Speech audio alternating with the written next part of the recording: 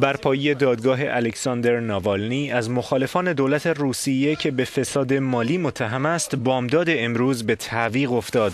این دادگاه در شهر کیروف واقع در شمال شرق مسکو به درخواست وادیم کوبزف وکیل مدافع جدید ناوالنی به چهارشنبه هفته آینده برابر با 24 آوریل موکول شد.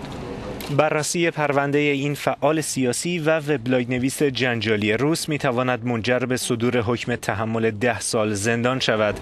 همزمان طرفداران این چهره سرشناس مخالف ولادیمیر پوتین با در دست داشتن پلاکارت های علیه دولت در برابر دادگاه تجمع کردند. ناوالنی متهم به اختلاس در سال 2009 میلادی است. بر اساس کیفرخواست این اختلاس معادل 500 هزار دلار و در یک شرکت دولتی تولید الوار صورت گرفت. گرفته است.